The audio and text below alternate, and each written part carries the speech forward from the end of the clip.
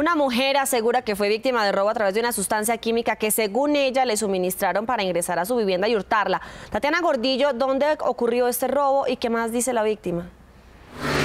Catalina Televidentes, muy buenos días. Pues este robo ocurrió aquí en la localidad de Engativá. Mire, estas bandas que se dedican a robar a través de estas sustancias químicas como la escopolamina, no solamente están robando en bares y discotecas, también llegan a las viviendas de sus víctimas para que esta sustancia les permita ingresar y hurtar sus pertenencias. Este es el caso de doña María Luisa, que hace unos meses los, los delincuentes llegaron hasta aquí y le hurtaron sus pertenencias. Buenos días, ¿cómo cómo ocurrió el hecho y usted por qué cree que le, que suministraron alguna sustancia para usted dejarlos entrar. Lo que pasa es que estaba barriendo, entonces eh, cuando llegó un carro y estacionó ahí, y era un, señor de la tercera edad y una muchacha jovencita muy elegante. Entonces me dijeron, eh, el señor dijo, ay, esta, esta es.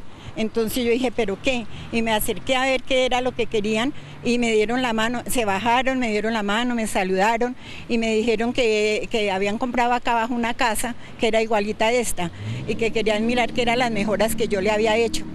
Y yo digo que me echaron algo porque tal cual saqué las llaves, les abrí la puerta, entraron y cómo serían lo que yo estaba de inocente, que, esto que, que se entraron, mi, mi nieta estaba adentro y yo, entonces yo los dejé entrar y, después bajaron los otros dos señores esos y cuando ya estábamos todos adentro y yo vi cinco señores ahí, y, más que todo el señor de la tercera edad fue el que no me dio desconfianza de que entraran. Y la chica era muy elegante.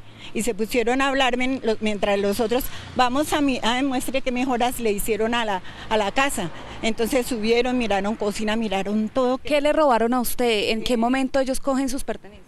Cuando suben los, los, yo me quedé en, la, en el comedor charlando con la muchacha.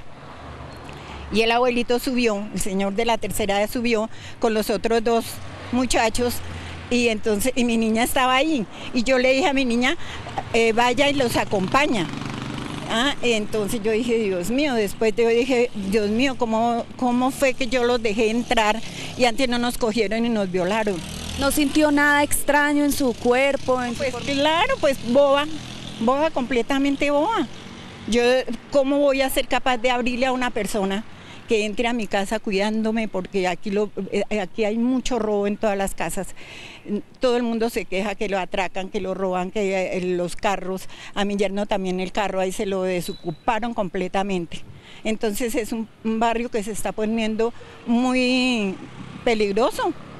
Doña María Luisa, muchas gracias. Justamente ellos interpusieron la denuncia, pero eh, dicen que no se acercaron a medicina legal ni a ningún hospital porque el trámite de la denuncia fue tan largo que prefirieron dejar así ya que el valor de los objetos que le robaron pues no era de una mayor cuantía.